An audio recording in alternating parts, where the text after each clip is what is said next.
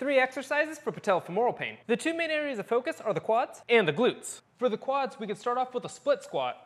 And if the knee's not able to tolerate that, we can actually just hold this bottom position here to turn this into an isometric exercise. We used to think that you had to focus on a specific part of the quad, specifically the VMO. But there's actually no need to isolate the VMO, so we can just work on general quad strengthening. For the glutes, we can perform a side lying hip raise with a 3 to 4 second contraction up, and then a 3 to 4 second contraction back to the ground. Finally, we can do a step up to start putting everything together, with the emphasis of putting little weight on this back leg and driving through that top leg.